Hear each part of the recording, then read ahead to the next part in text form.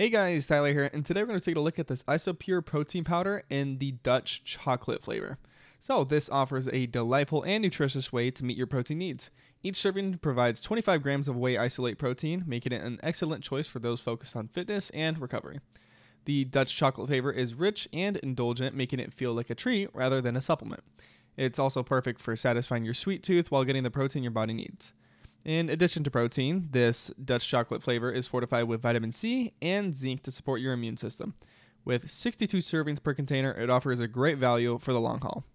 Uh, some people, I do this, uh, mix this protein powder with water, milk uh, for some kind of classic shake, or sometimes I have got creative by blending it with fruits like bananas or strawberries for a delicious smoothie.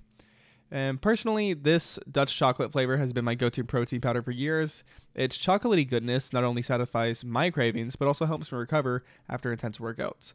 I also love that it does provide immune support, which is essential for my active lifestyle. And also, best of all, its carbs, fats, and total sugars are all on the very relatively low end.